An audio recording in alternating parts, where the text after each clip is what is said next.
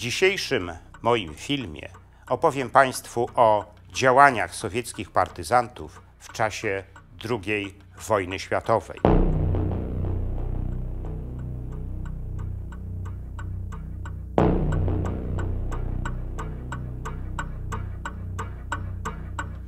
Jednym z najważniejszych elementów stworzonej po wojnie legendy sowieckiej partyzantki jest jej niezmordowana walka z Niemcami.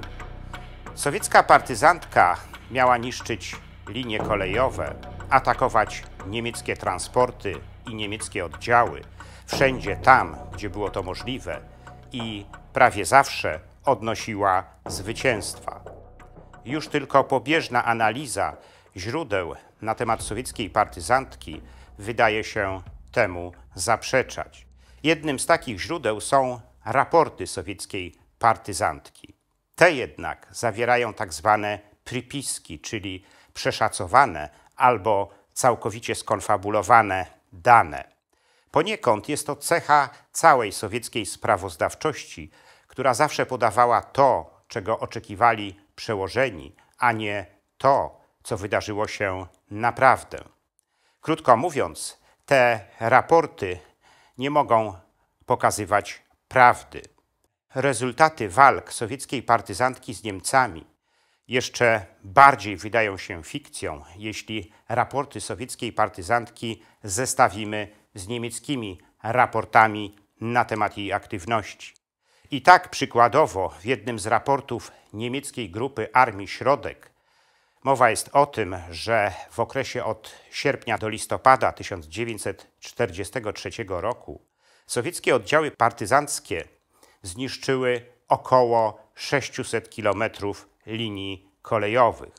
Tymczasem w jednym z sowieckich raportów dotyczących analogicznego okresu mowa jest o tym, że sowieckie oddziały partyzanckie zniszczyły wówczas aż 2158 kilometrów linii kolejowych.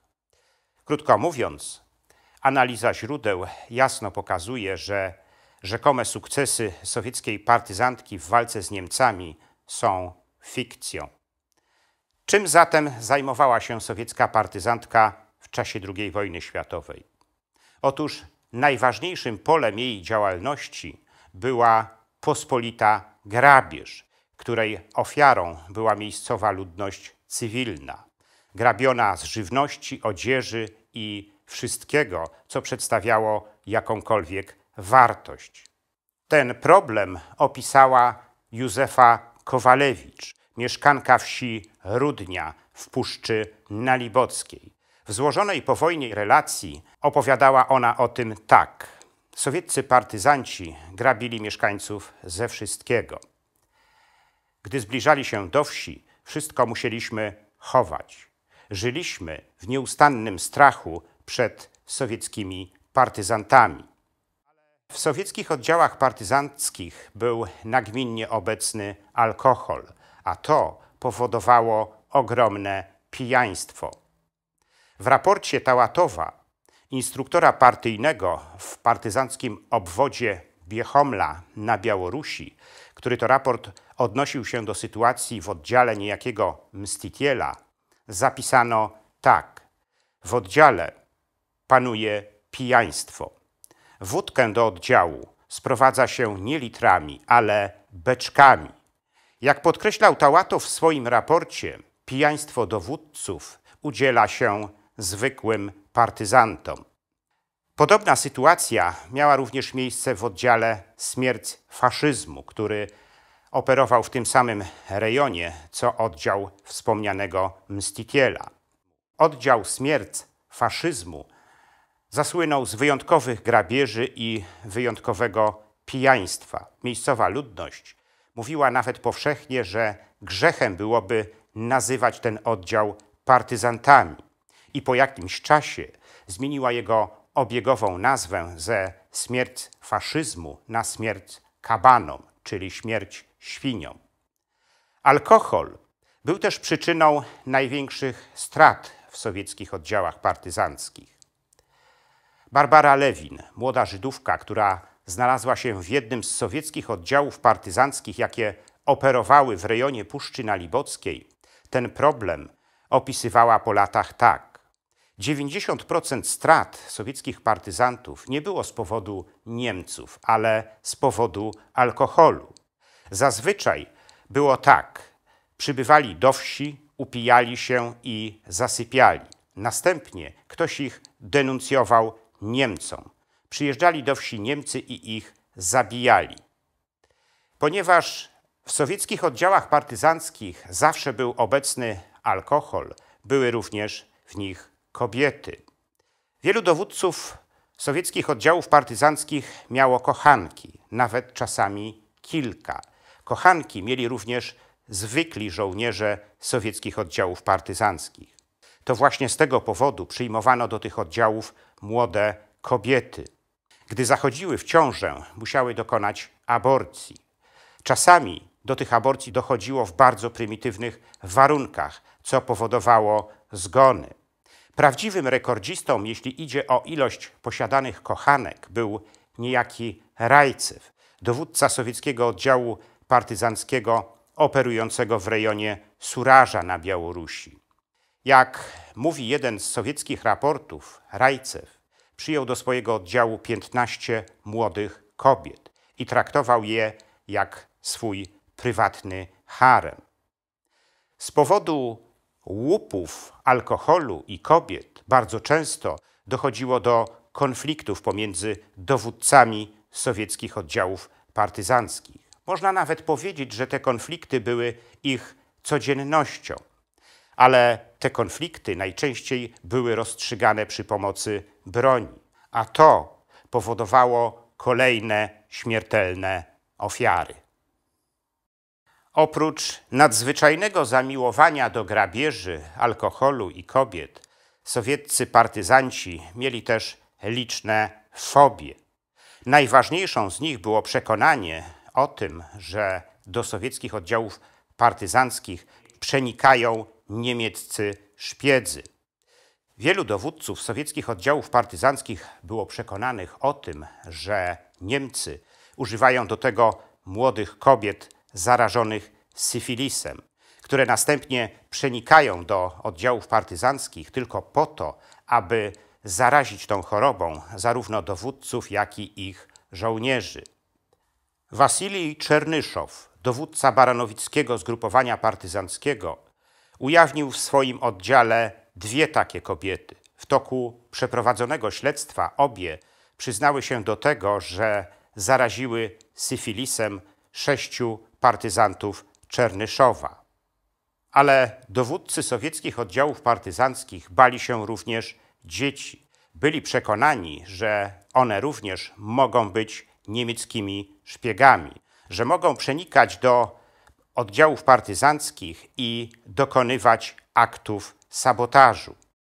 Ale dowódcy sowieckich oddziałów partyzanckich bali się również lekarzy i felczerów, będąc przekonanymi, że oni również mogą być niemieckimi szpiegami i pod pozorem leczenia mogą zatruwać partyzantów. Dowódcy sowieckich oddziałów partyzanckich bali się również Żydów i Polaków, którzy również mogli być niemieckimi szpiegami. W przypadku Żydów panowało ogólne przekonanie, że Żydzi wyjątkowo dobrze nadają się do szpiegowskiej działalności. Z kolei w przypadku Polaków dominowało przekonanie, że Polacy mają polityczne motywy, aby prowadzić szpiegowską działalność w sowieckich oddziałach partyzanckich. Te wszystkie fobie miały ogromny wpływ na atmosferę w sowieckich oddziałach partyzanckich i w bardzo poważnym stopniu decydowały o ich codziennych działaniach. Najgroźniejszym jednak wrogiem dla sowieckiej partyzantki stała się polska partyzantka, która od wiosny 1943 roku zaczęła się dynamicznie rozwijać na terenach wschodnich, zwłaszcza na terenie zachodniej Białorusi. To wówczas w rejonie Nowogródka, Baranowicz i w rejonie Puszczy Nalibockiej powstało kilka większych polskich oddziałów partyzanckich. Dla sowieckiej partyzantki Najgorsze było jednak to, że polska partyzantka chciała przywrócenia przedwojennej polsko-sowieckiej granicy, co było dla niej nie do zaakceptowania. Z tego właśnie powodu w sztabie generalnym sowieckiej partyzantki w Moskwie zapadła w lecie 1943 roku decyzja o zlikwidowaniu polskiej partyzantki. Uznano wówczas, że najlepszą metodą do realizacji tego celu będzie zapraszanie dowódców polskich oddziałów partyzanckich na wspólne rozmowy w celu omówienia dalszej walki z Niemcami. Istniało przekonanie, że w czasie tych rozmów dojdzie do bardzo wygodnej sytuacji, w której będzie można aresztować dowódców polskich oddziałów partyzanckich. Taki właśnie los spotkał Antoniego Burzyńskiego, Kmicica, którego oddział operował w rejonie jeziora Narocz na Białorusi.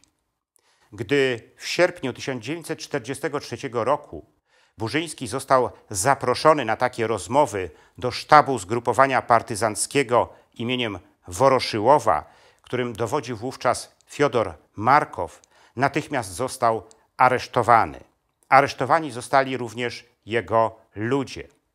Taki sam los spotkał dowódcę zgrupowania stołpeckiego Armii Krajowej Kacpra Miłaszewskiego.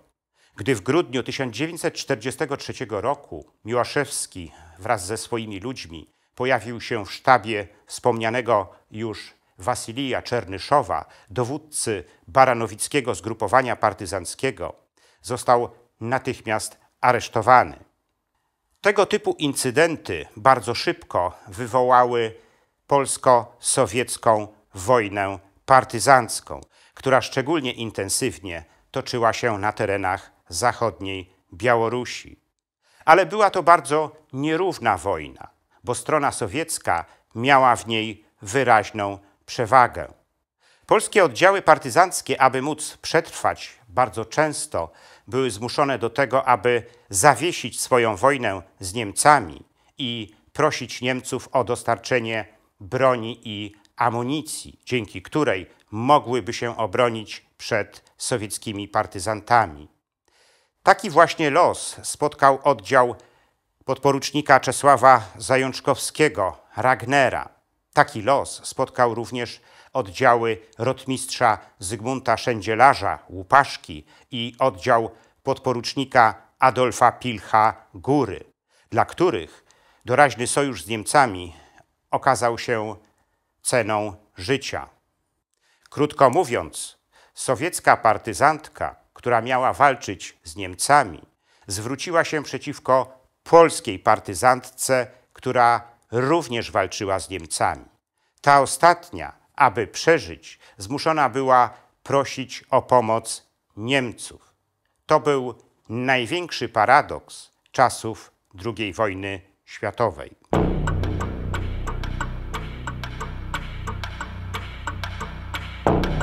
W następnym moim filmie opowiem Państwu o tym, jaką politykę prowadziła Szwajcaria w czasie II wojny światowej. Dowiecie się, dlaczego nie została zaatakowana przez Hitlera. Ten film zatytułowałem Otoczona przez Hitlera. Gorąco zapraszam do oglądania.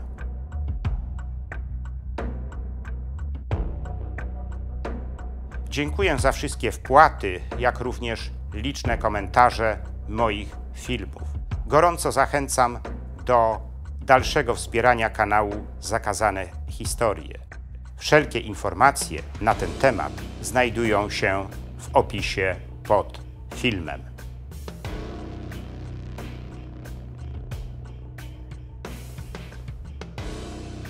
Drodzy widzowie, jeśli podobał się Wam mój film, udostępnijcie go znajomym, dajcie łapkę w górę i kliknijcie subskrybuj.